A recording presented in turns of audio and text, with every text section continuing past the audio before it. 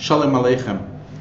We're learning Gesicha Kedoshim Aleph, and what we're going to do is we're going to go into the Gemara to try to understand the Siyum that the Rebbe made on Maseches Sanhedrin, and to understand what exactly it's about. So let's go to Sanhedrin Daf Kuf Aleph Amud Beis, quite a while before the Siyum, where the Rebbe, sorry, where the Mishnah starts like this: Anshe Yer the people of Nidachas, an idolatrous city, and the pas, it brings a pasuk that proves it. Um, they only get killed. That the people um, that convinced them to go on Avodah were from that city, Moisa Shevet, from that tribe, until most of them went off the path, Nashim, and until they were pushed by men, if they were convinced by women or children, or just a minority of the town, or there were people from outside the town, they're individuals, and it's not a category of iranidacha, so Tzirchim Beis Edim V'Asra they'll have two Edim and Asra for each one. And then the Gemara, the Mishnah talks about the difference if it's individuals versus a lot. Okay. Then the, the Mishnah says the following. Um, the pasuk says, You should destroy utterly whatever animals and with the edge of the sword and everything that's in it. From here, the Chacham tell us,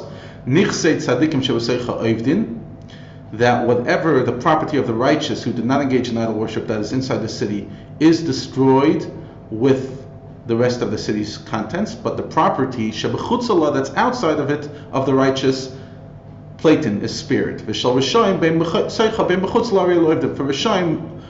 both what's in it and what's out of it gets lost. Shenemer, as it says in the pasuk,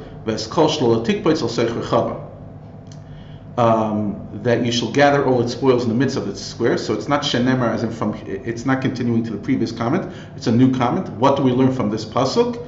If the city has no square, one creates a square for the city in order to fulfill the mitzvah as was written. Next, it says, "V'sarafta beishas uh, ha'ir es kol shlala kalila Hashem alikecha." From here, we learn you have to burn everything. So the Mishnah says it spoils, but not the spoils from Shemayim. From here, the Chachamim say that whatever is hektish in the city, which is no longer the property of the inhabitants, must be redeemed, redeemed and trumas are neither eaten nor burned; rather, they must be left to decay. But what we learn next? Kalil Hashem Likecha. So Rab Shimon says, Amar Kadesh Baruch Hu, Hashem says, Im oisim ibrin nedachas mani alechem kila temalim oila kalil afanei. What the word kalil means that it's as if you gave me an entire kalil, an entire karban oila, totally burnt for me. Finishes off the Mishnah. The the pasuk says it should be a heap forever. From here we learn that you should not make gardens and orchards. That's what Rabbi Yossi says. Rabbi Akiva, says loisivna oid lekamoisha hoisa eina nivnes. Aval nasasi ganes upardesim. Rabbi Akiva says from the pasuk that says it should not be built again, we learn that it should not be built the way it was. However, it may be converted to gardens and orchards. The next pasuk says, the next part of the pasuk, there shall cleave nothing of that which was devoted to your hand. In other words, nothing that was in there should go to you. And from what does the Gemara, the Mishnah say? As long as there are shomer in the world, Hashem's anger is in the world. Of the Rishayim Once the shomer are gone, Hashem's anger leaves the world. So that is the Mishnah, which gives us a bit of context to the siyum that we're doing. Now, finishes off the, the Gemara. Now, the Mishnah teaches on the pasuk lead that calls manchar shem ba'olam chadaynaf ba'olam comes the Gemara and says, who are the wicked people mentioned in the Mishnah that calls manchar shem ba'olam chadaynaf ba'olam? Says that Yosef Ganvi that they are the thieves. Finishes off the Gemara. Tanid Abanan. Baloilam. For Rasha comes to the world, anger comes to the world. Shnemer bevoy Rasha boygam boys va'am kalain chepa Rasha avad min ha'olam, when the Rasha leaves the world, toiva ba'olam, it's good. Shenemar v'avoid l'shoyim dina, when the Shoyim leave, it's dina, it's good. Tzadik nifta ma'olam ra ba'olam. Shnemar tzadik avad ve'ein ish sama They're not getting it, they don't realize that there was a major tragedy that the tzaddik left. Tzaddik yadenu, that's the last words of Kol Yisrael Yeshlam Chelik Mabo, which is the final parak of Sanhedrin, the whole parak about Mashiach. So what we just did now is we just gave context to the Siyum. In other words, what what was the Gemara on, and then we could understand what the Rebbe Shaila is. What what's the point of Ganve? Who are the Ganavim, etc. As the Rebbe goes in in the Sikha.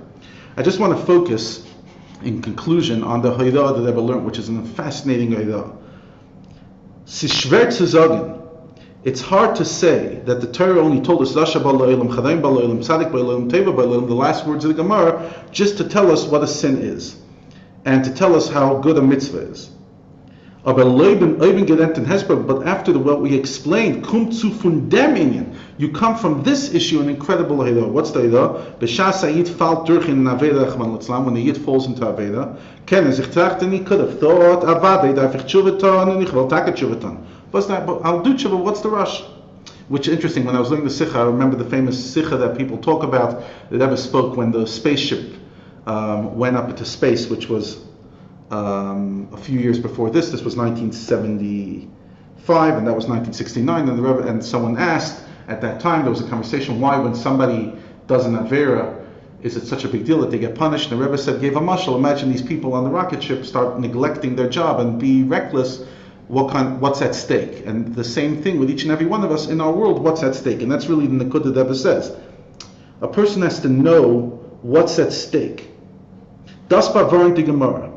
Als er tun nicht seiner sein hat, weil Kolzmann, er hat nicht Schuwe getan, ist ständig doch Harim Barilam, nicht nur Bishas Meisa Aveda. Noch mehr, das ist nicht nur Negeh, ihm allein, nur zu der ganzen Welt. In other words, the Rebbe is not making us guilty, but he's, real, he's helping us appreciate the incredible weight on our shoulder. And so through to good, bedenkt er nicht nur Teuva für sich, nur für die ganze Welt, und Oifen von Pulam und Sheches forever. Und Bishas Ayid wird sich in dem reinzachten, as is tolle gewaltig, uh, when a person understands that it's all on him, it will be an incredible accomplishment. So